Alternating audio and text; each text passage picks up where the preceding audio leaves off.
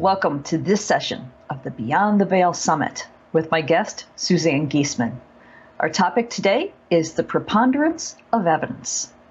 Suzanne Giesemann, the founder and teacher of the Awakened Way, is a former Navy commander and commanding officer who is now a mystic, medium, and author.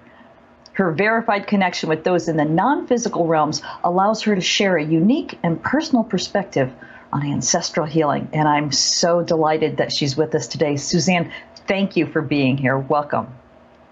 Thank you, Lisa. I just love being part of this and helping share the messages of hope, as I call them. Absolutely. And uh, I think this is just a great way to start this out uh, because uh, one of the things I love about your work is that you make it really clear that you are an evidential medium, meaning that you ask those in the spirit world, those those who come through, to to actually provide evidence that the interaction is real. So let's go ahead and start there and talk about why you feel it's so important to to actually ask for evidence.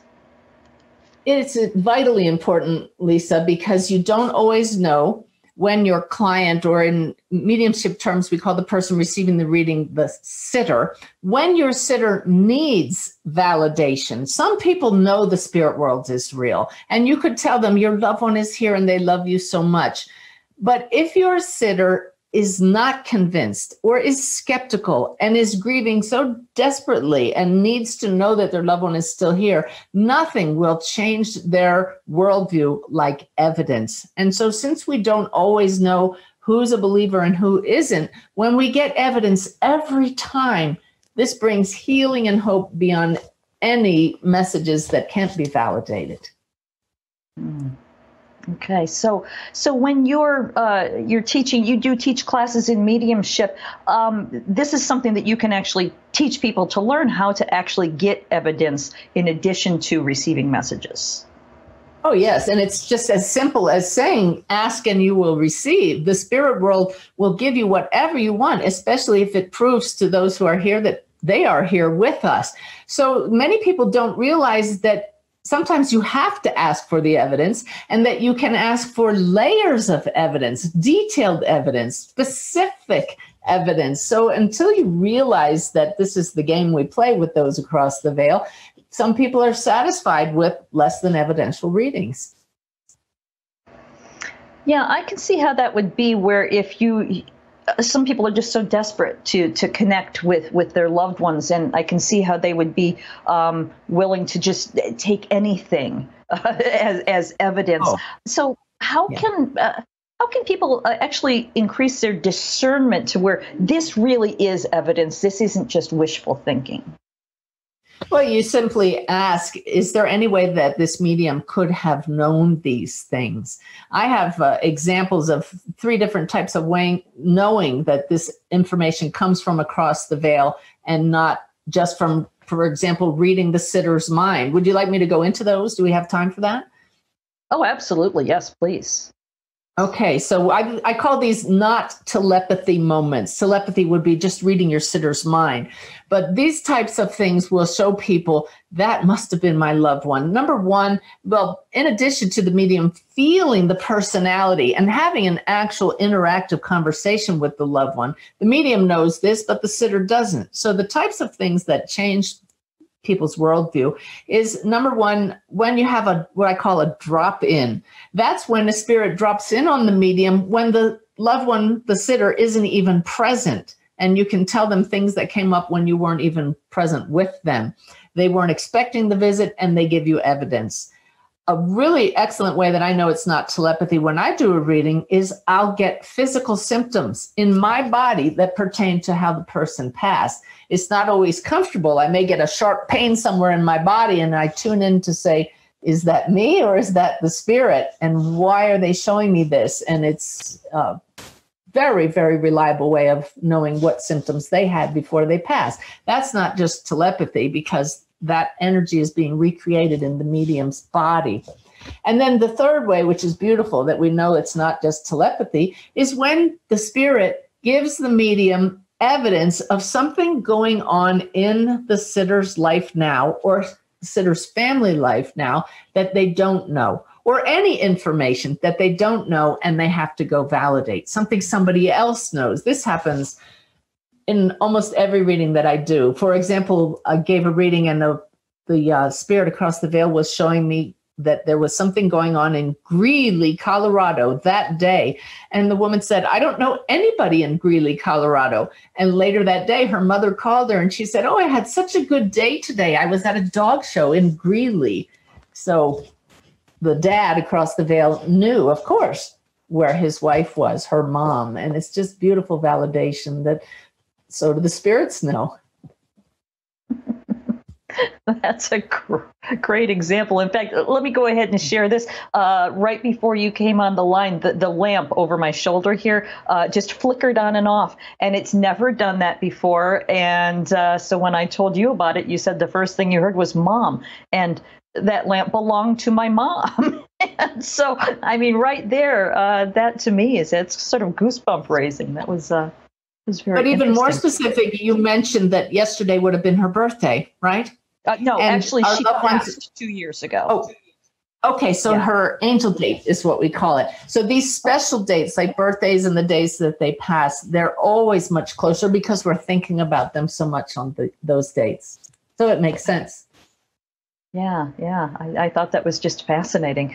Uh, so, so we were talking about how people can um, trust the the evidence. If people are learning to be their own medium and uh, that's where i think they might be more uh, prone to believing in uh, what they might see as evidence which might again be the wishful thinking. So if you're if you're learning to do this how can you tell if the evidence is real well, if you're actually connecting with another spirit, whether it's your own loved one or somebody else's loved ones, you put them to the test and you say to the spirit who you sense, Tell me something that I don't know. I put my own loved ones to the test. My mother showed up on my birthday this past week, and it was a beautiful gift for me because we shared a mutual birthday. And I rarely hear from her since she passed two years ago. And there are reasons for that that have to do with my soul's growth. But it was such a treat to feel her presence, to hear her voice and her tone.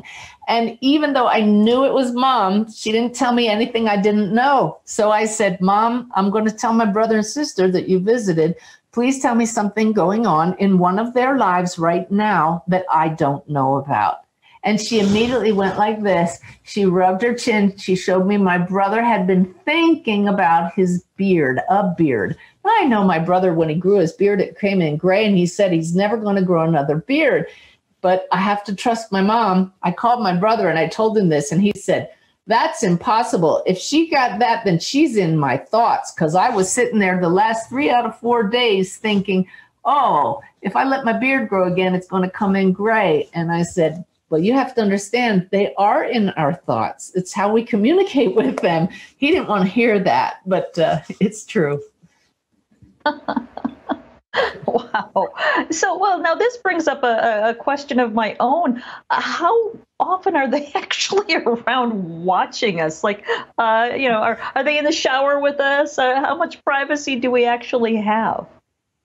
I will tell you that I have some people who actually hear from spirits when they're in the shower because it's something about the water and the energy. But spirits respect our privacy. I'll tell you that first and foremost.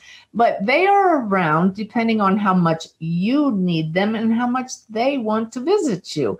There are some partners, spouses that I brought together from across the veil with their spouse here. And they say, I'm hanging around until they're okay and standing on their own two feet again and others give us more breathing room if it was a parent you wouldn't expect them to be around all the time if you're an adult now but when you think about them they do draw near.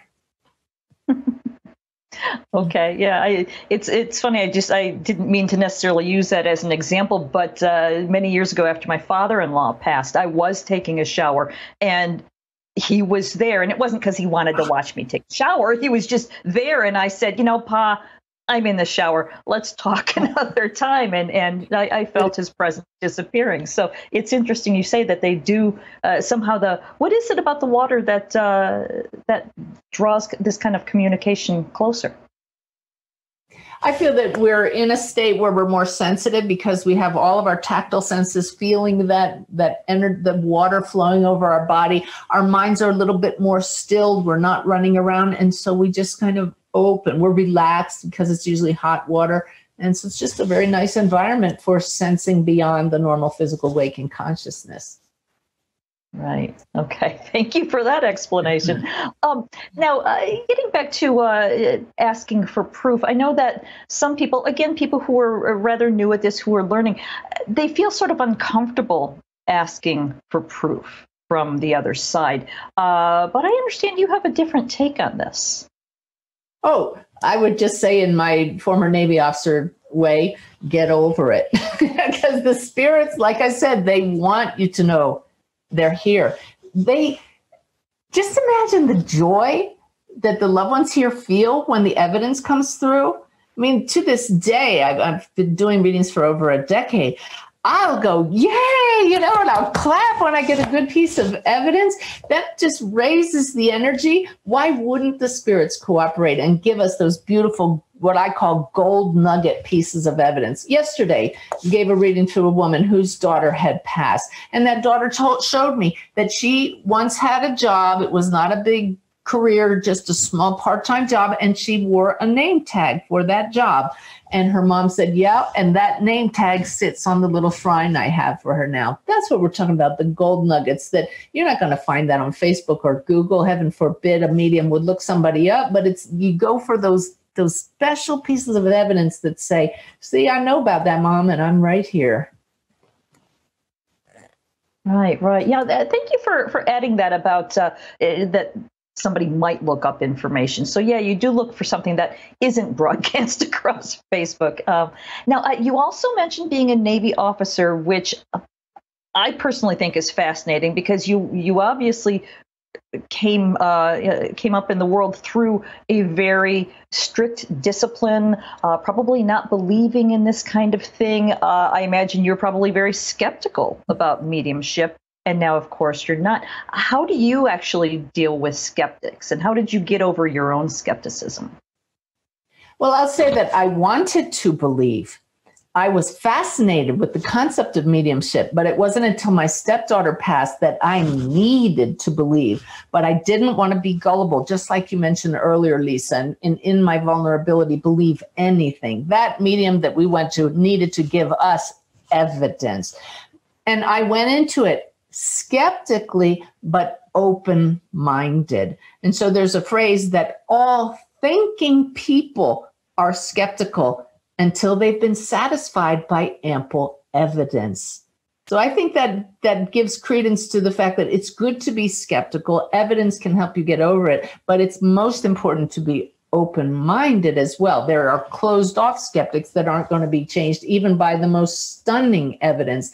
And readings will fail when you have a closed minded skeptic because that's their lesson to learn. They get exactly what they create. Interesting. Okay, so if you're mm-hmm. reading for a very skeptical sitter, is it that you the information doesn't come through to you or that they don't believe what you're saying? Their their energy and their mindset actually blocks the connection. As i teach in my classes i call this the sacred triangle in a reading. The medium the sitter and those in the spirit world. All need to be radiating a nice open energy love filled energy like giving a green light to the spirit world. So here's the medium pumping out the love and here's the skeptic. Arms crossed closed down not going to believe anything you say anyway. What does that do to the energy field? So again, you you they create that failure. It's very interesting. I just won't do readings unless someone says, I'm open to this. I'm skeptical. That's okay. But if they go into it saying this is total nonsense, why even bother? I don't need to change anybody's mind. The evidence will do that. Right. That that makes a lot of sense. Uh, but have you ever had a circumstance though before you uh, refused to take uh, skeptics where you were trying to read somebody and they they were closed off, but perhaps their loved ones were like, "Hey," and smacking their oh. way through? This is how I actually learned about the value of what we radiate. I was doing a reading and I everything I was saying was getting no from my sitter. And it was it was embarrassing. It was awkward because it's not how I operate. I was, you know, I'm sensing this or that. No, no, no. At the time, I was working with my eyes open. These days, I work with my eyes closed. But I open my eyes, and my client has arms crossed, legs crossed, scowl on her face. And I said, Well, no wonder. I told her, Do me a favor, uncross your arms and legs, move your awareness to your heart, and send out love, and we'll do this again.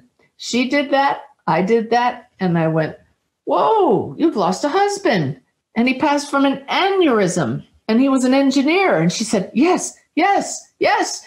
What made the difference? It was her fear and grief that caused her to be like this. It wasn't skepticism, but that is definitely a lower energy that was not aligned with the field we're trying to create in that reading. So it showed me that all of us create just the right energy for a reading, and the sitter is just as important as the medium. Hmm. Okay, interesting. Now, so I imagine your life must be a hundred percent different uh, before becoming a medium to after becoming a medium. Uh, can you talk about what different ways your life has actually changed as a result of this new skill? I guess that you've developed. Is that what you'd call it? Yeah, I was thinking when you said 100%, not 100%, because I know I used to be very loving and very enthusiastic. I've always had those traits, I hope, but so much more so now. But the biggest difference I feel is my acceptance of everybody where they are and how they are, understanding that we're all on our own paths. The peace that I feel in every moment, the whole coronavirus uh, challenges that we're going through i'm able to ride that out with with peace and see it from a different perspective. Uh, i try to judge people far less. That those when those natural human tendencies pop up i'm aware of them right away.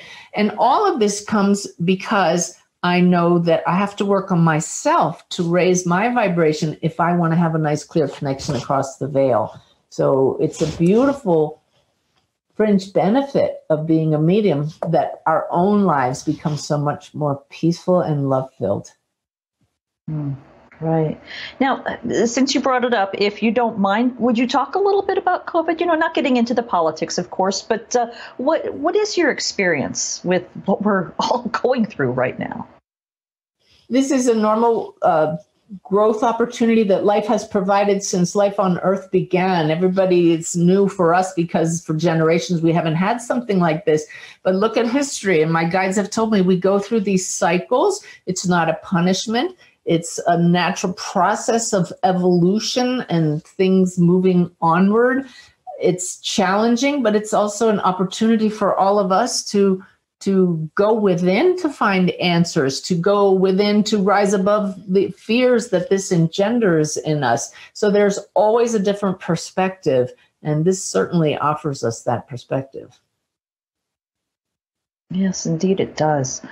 Um, yeah. let's get back to the, the classes that you've taught. You, you've taught a few classes with the Shift Network, and and they're uh, they're very popular. Uh, we you get a lot of people registering. Uh, what's it like to teach uh, an online course, people that you can't see in person. Uh, how does that work?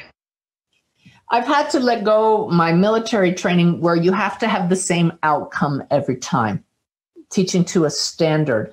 With mediumship, everybody's going to, to come up with their own style, develop their own style of working. I try to show people certain parameters and what's really important, things such as do no harm, don't hurt anybody in this work, and ask for evidence. But people will receive information in different ways. So, with such large numbers in these classes, I can't check up on and validate everybody's progress. So, I teach people how to determine if you should be doing readings or not. And as a medium, the test of any good reading is did your sitter leave that session and say, that was my loved one. I mean, that is the greatest thing we look for. And if the majority of your readings don't have that result, then you go back to class, or just, we should always be trying to improve. I'm constantly looking for improvement in myself. It's an ongoing journey.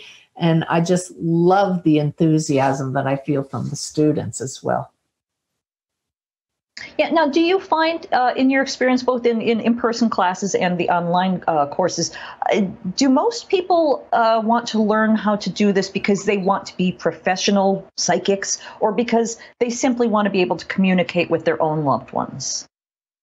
I'd say it's actually three reasons, and I don't have the numbers, but it's a very even proportion want to con- learn to be mediums, and then the other proportion wants to connect with their own loved ones. But then across the board, people want to raise their own consciousness. And again, that's a natural outcropping, a result of the work. Hmm. Okay. Now, I know you do have another uh, course coming up.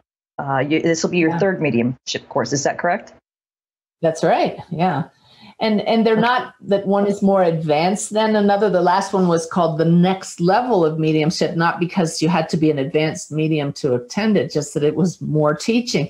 But this one is going to have a specific focus. It's going to start in December. We'll we'll have a beautiful video about it, I believe, in November. But it's going to be about soul to soul mediumship, how this communication doesn't happen from the human Suzanne connecting with the soul. It's the soul. So it's all about the things we've been talking about, Lisa, how working on our own soul's growth and evolution increases that connection. Just a lot of good tips on how we can raise our consciousness, and the results are fantastic. Wow. Okay. Cool. Now I know that the summit that we're actually talking here for airs like days before Halloween, when the uh, the veil between the world is is thinnest. What are your thoughts on that? Do you believe that that's true? I have no experience of that. That's my good Navy answer for you. As when I was the briefing officer for Admirals, you know, they'd ask you, and if I didn't have an answer, I didn't have an answer. I I have no personal experience of that. I know that there are cycles, but uh, I haven't experienced it, Lisa, so can't comment. okay. Well, I thought I'd, thought I'd ask anyway. Uh, now, I understand that you have a, a, process that you'd like to share to to to guide our viewers through uh, uh, for the purpose of connecting with loved ones who have passed, uh, connecting through writing. Would you like to go ahead and?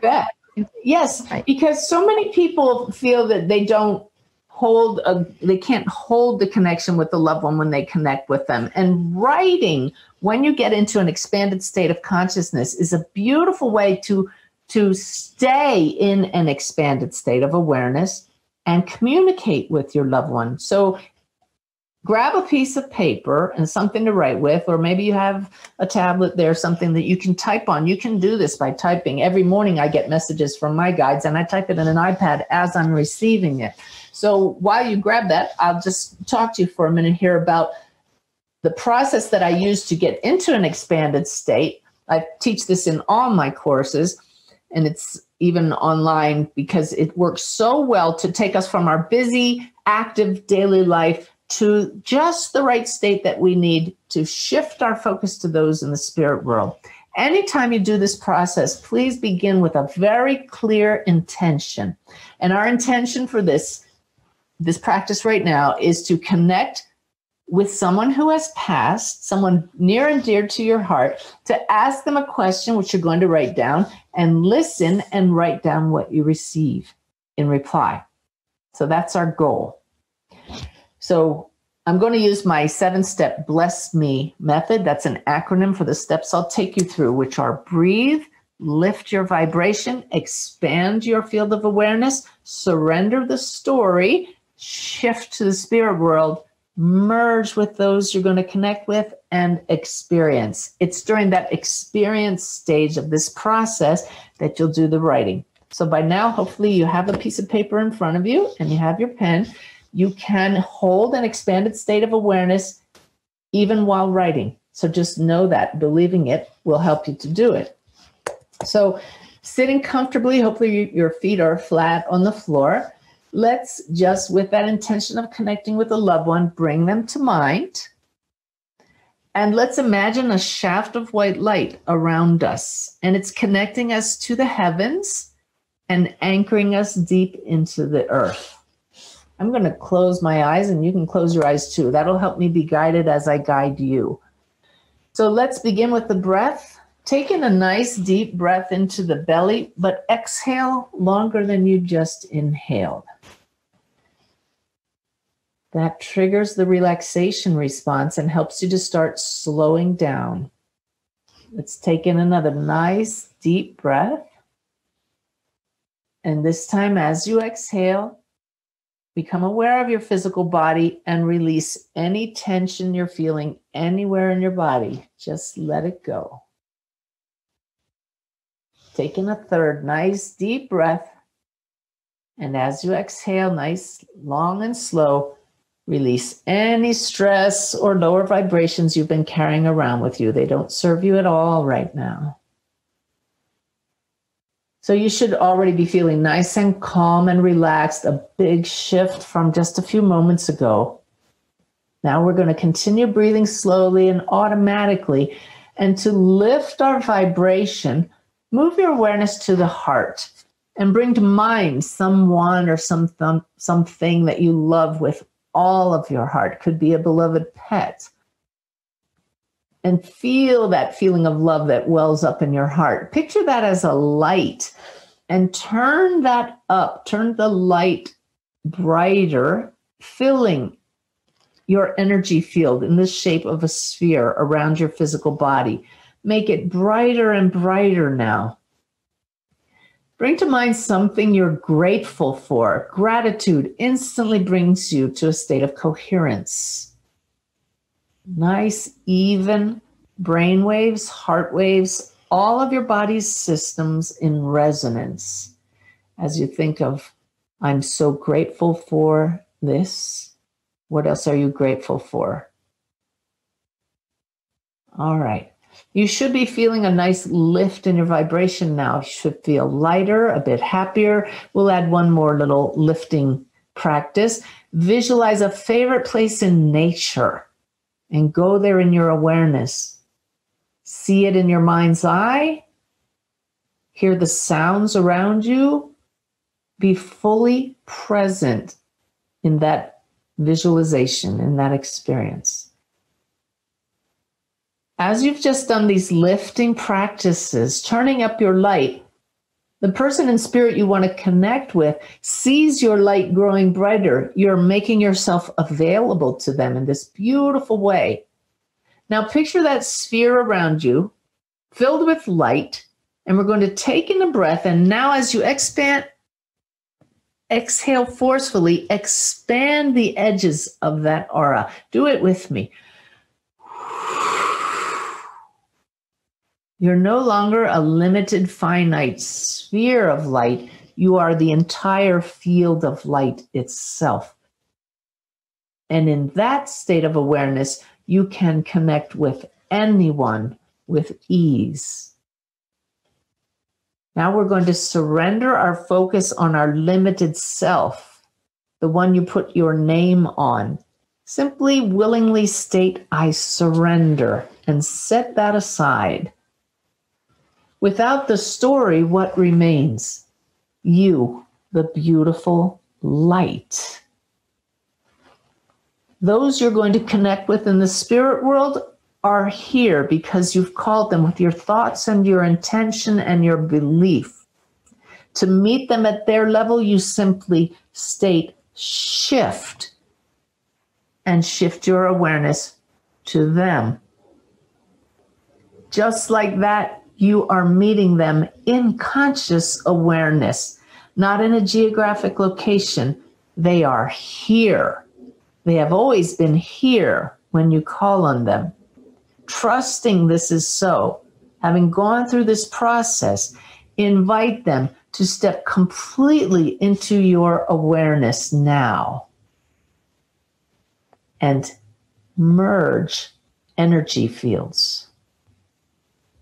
It's a blending of soul energy. It's very familiar to it. As souls, you do it all the time, but now you're doing it in awareness. Take a moment and experience any different sensations. Do you feel the presence of your loved one? What do you sense? What has shifted?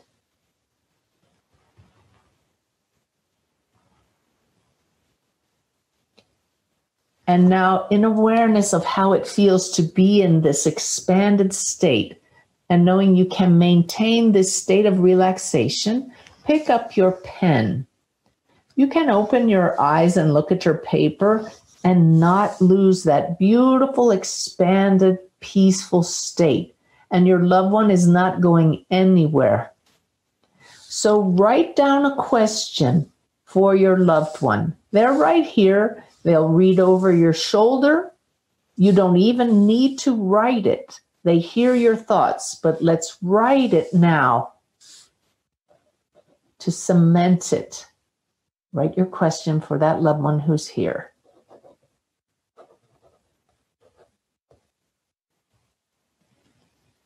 Trust me, now that you've asked so specifically, they will answer. So pause now and listen.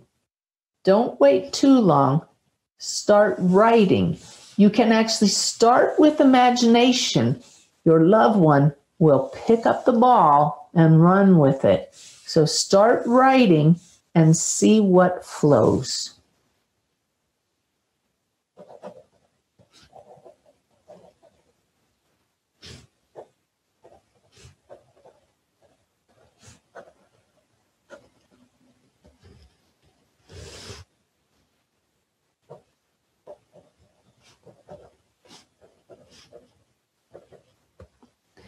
If you sense nothing at all, you can actually write nonsense and then ask your loved one to write something clearly for you. Play with this. Enjoy the process. Write down a second question.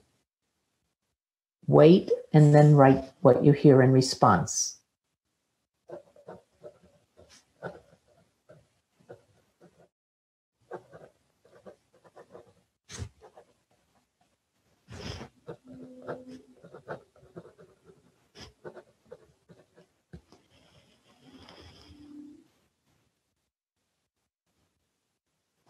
Because we only have a limited time, this walks you through the process.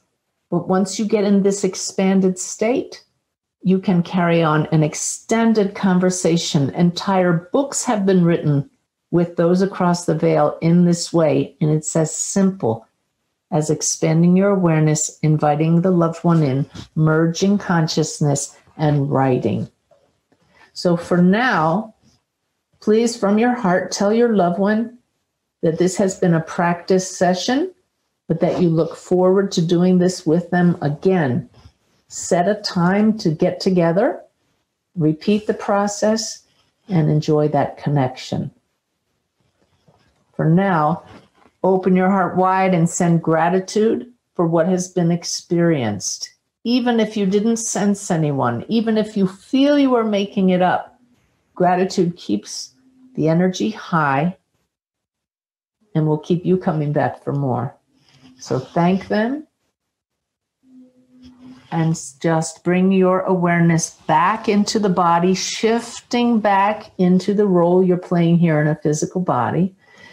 Wiggle your fingers and toes, take an energizing breath, and welcome back know that your loved ones are going to hang around. They're going to want to do this with you again. So carry on a conversation. I can guarantee you they hear you. Hmm. Right. Thank you so much for that. I can see how that could be a very useful tool. Um, it, it feels like doing this process, you're actually meeting them halfway.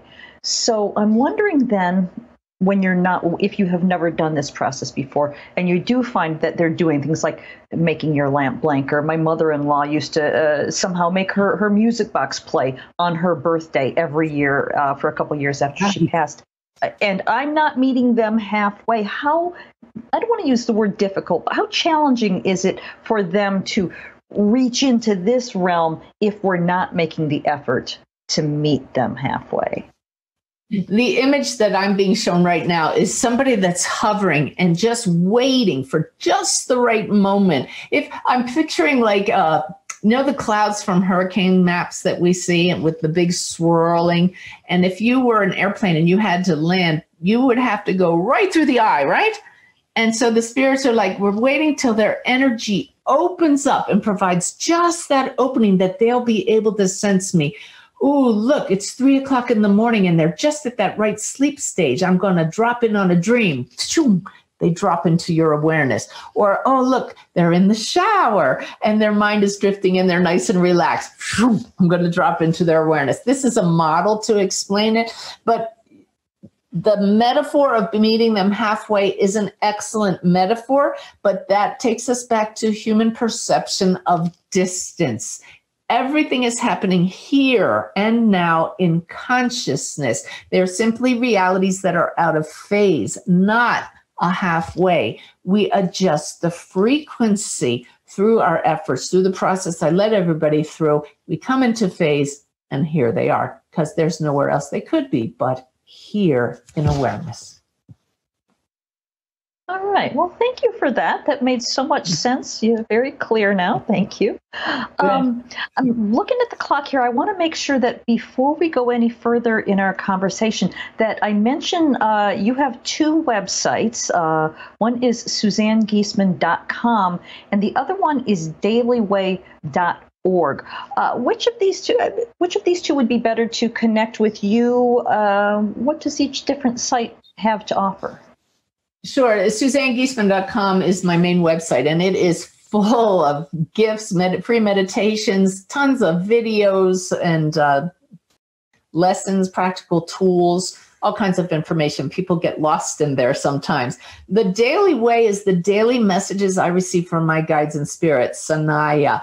And that page is actually on my website, but dailyway.org is a way to get directly to each day's inspirational message, which so many people read and say, they were talking to me today because we're all going through this human experience and they address the human challenges. Hmm. Wow, interesting. Thank you. Um, so again, we're we're just about out of time. Uh, is there anything that we've left out that you want to make sure that we do talk about before we wrap it up? Yeah, there sure is, and and that's that we called this talk the preponderance of the evidence. And so many people focus on the science aspect, Lisa, of connecting across the veil. And they say we don't have proof that the spirit world exists. What they leave out is we have another whole way of proving things in our society, and that's our judicial system. We don't need scientific technology to prove a case. We use evidence people's testimony, witnesses' testimony, has been enough to prove many cases. And what proves a case in our society is called the preponderance of the evidence, which means that only you have to come to that the only logical conclusion that can be drawn from the evidence is that a particular proposition is true. And the preponderance of the evidence means 51% or more believable. Well, I'll tell you, if I gave a reading and we only had 51%, that wouldn't be good enough. If you have a good evidential medium, 80 to 90 to 95% of the things that come through are verifiable and evidential. So our technology currently does not allow us to sense the spirit world. So scientifically, we can't prove it. But using the burden of proof, which has sent people to jail, taking away their freedom, we use that as a standard for proof. And mediumship goes far beyond the highest standard set by our legal system. I think that's pretty cool and worth paying attention to. Yeah, thank you for adding that. I think that really added a, an extra dimension to help us understand uh, what you're saying here about evidence. So, uh, thank you, Suzanne, for being with us today. This has been just a fascinating conversation. I could I could keep talking to you for hours, of course, uh, but uh, your time is is valuable. So, thank you so much for being with us today. Thank you, Lisa. It's always a joy talking with you and sharing with uh, anybody that that tunes into the Shift Network. Is a kindred spirit. We we know there is a greater reality, but for those who don't, learn how to get the evidence, and you will bring more people along on this beautiful journey. All right, indeed. Well, once again, thank you, Suzanne Giesemann, and thank you to everyone for joining us today. I hope you enjoyed this conversation in the Beyond the Veil Summit. Thank you for joining us for the Beyond the Veil Summit, brought to you by the Shift Network. To learn more, visit beyondtheveilsummit.com. To join our global community of people awakening to their divine humanity and taking inspired action, visit theshiftnetwork.com. Thank you again for gathering with us and for sharing this healing path with your friends and family.